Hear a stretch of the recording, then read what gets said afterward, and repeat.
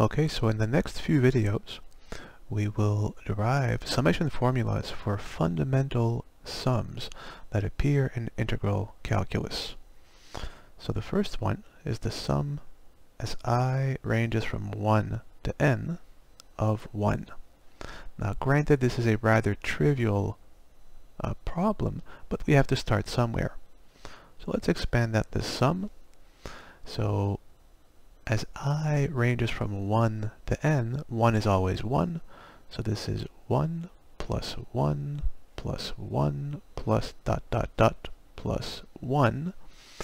And since i ranges from 1 to n, then there are here exactly n terms, so we are summing 1 n times.